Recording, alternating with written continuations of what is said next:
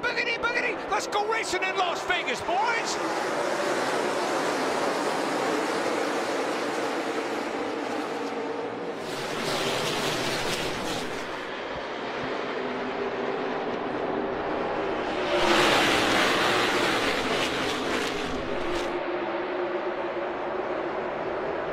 Number behind, you're clear, you're clear. Still in the middle. Still in the middle there. Still in the middle. Harvick a look to the in the outside. Hamlin on the Still in brake. the Here comes Harvick high off turn four to lead lap one, and they're three wide through most of the field. Big issue for Kyle Larson there. I don't know if the car got looser off of turn two, but he almost got in the wall. Lost, a, lost his momentum. Chase Elliott, ninth place, started 12th. Matt. Mikey was third here at Las Vegas two years ago. Chase Elliott said the car turns well, but then he starts hitting the bumps and it just upsets the nose. It kind of goes back and forth between tight and loose, just depends where he is on the racetrack.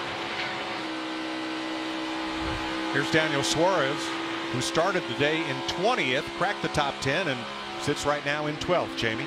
Coming off that really nice 10th place finish last week. This is just his third race with Stewart Haas Racing. And so far, so good, Mike. You noted he started 20th.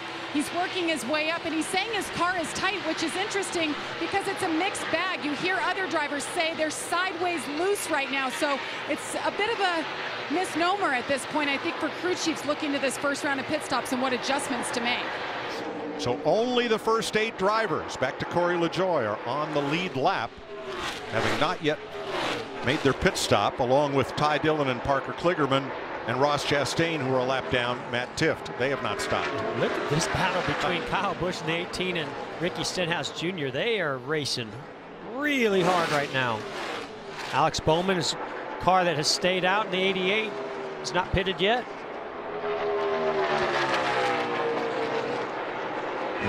Now there was contact. You saw it in our side-by-side coverage between Erik Jones and Ricky Stenhouse. Yeah, Erik Jones did a nice job getting to the bottom of the 17 to Stenhouse. He goes down to the apron to try to clear him, and then they hit. Erik Jones audio. Look at both of your right sides there. I mean, you have a little damage, but I don't think it's even worth pulling on. Just small crease on the right front end, right rear, but it's not bad at all. Yeah. Yeah, you can take the 17. Let's not talk bad about him at Daytona. You got off the approval list. Well, we all we all know Ricky Stenhouse Jr. is extremely aggressive, especially if the, the draft is involved. So, you know, I just think that's a little too early for him to be side drafting. But that side draft is very effective to keep cars behind you. Five to go in this stage. Joey Logano's just jumped into third with this pass of Erik Jones, number 20. Well, we've talked about how much aerodynamics matter, and you can see right there Erik Jones, I think when he was behind Matt DiBenedetto, got wide off the turn four. The 22 had a great run from the top lane. Fighting for stage points, eighth place. Teammates, Chase Elliott in the nine, Johnson the 48. And behind them, Daniel Suarez in 10th with that two-tire stop paying off, trying to get the final stage point here. Stenhouse, oh, this battle's not over yet. They're holding you down tight, tight your quarter, south Well, side quarter, front yeah. south side. I also thought Eric Clear, Jones up might there. hold him Tight, down outside, tight to the outside, outside. apron. Outside, That's what tight Stenhouse quarter, did to. Jones. Exactly. You're on the apron, stay on the apron. Payback. These two guys are uh, willing to mix it up a little bit here, it looks like.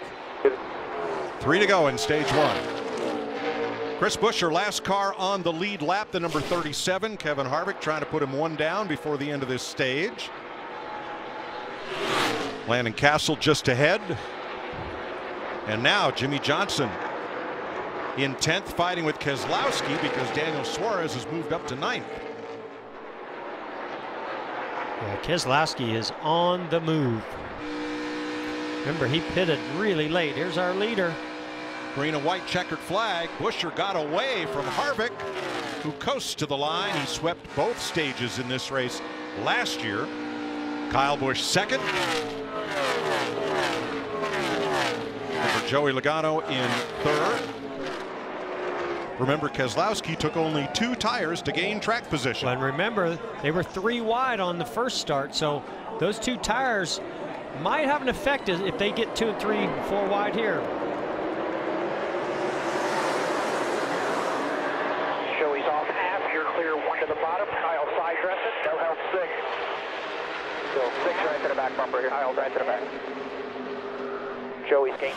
Trying to work to the top. All good. All good. Still 42 all the way on the bottom lane there. Runs with you. Top cover tight. Runs with you. Top cover tight. Still no run. Here comes Top of three. One. Half. Top of three. 42. Two back. Bumper. Still down there. You're pulling the 18. You're too wide in your mirror as well. Top still covered here. Nine pushes 19. One lane up. Still outside. Still there right rear. Still there. Clear, clear, clear. Get up, get up. You want, get up. Doing 18 now. Squeeze play here. This is just wild on these restarts. Look at that huge run by Suarez. When cars get side by side, they stall one another out. That's what creates a huge draft from behind.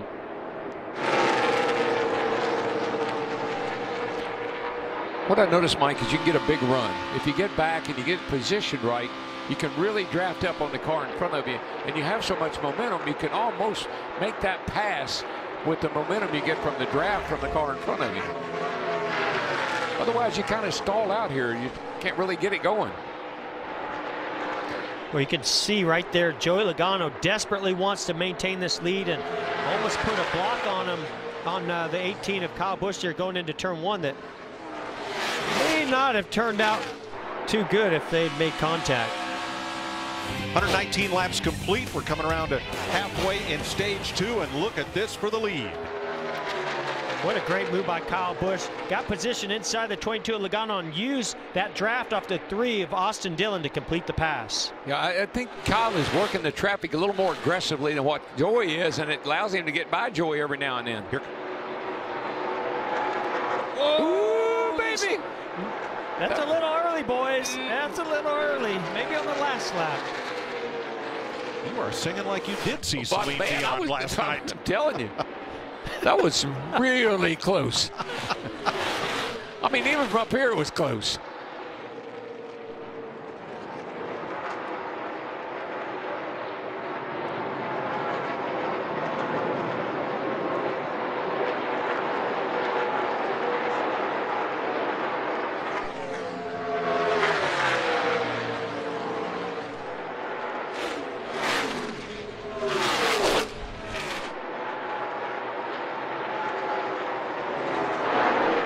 Know what?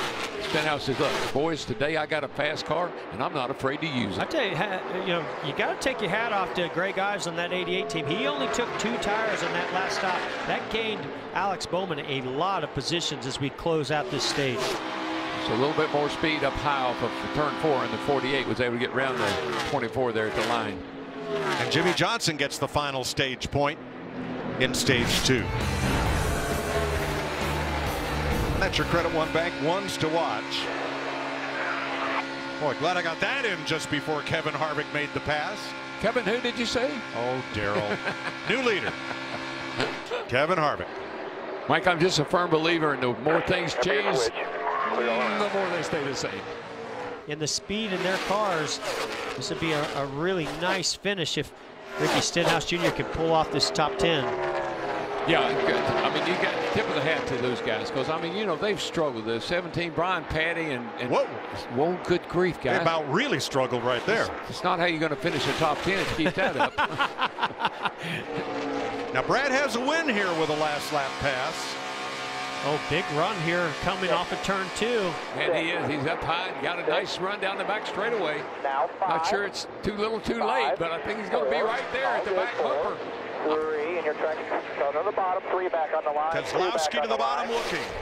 Nose to tail off here on the turn line. Here comes four. So right close. Wow. He was there. Joey Logano scores his first win of the season in his championship defense. Good job, man. Good job. The Pennzoil Awesome Ford job. wins the didn't Pennzoil show how we 400. can recover from last weekend. Awesome job, everyone. Finally, I won here. Yes. But so close, so low. About the on time. Good job. You and uh, TJ did an awesome job manipulating that. Great job, guys. Hey, NASCAR fans, thanks for checking out the NBC Sports YouTube channel. Make sure you hit subscribe below for the latest NASCAR news, race highlights, and digital exclusives. Thanks for watching.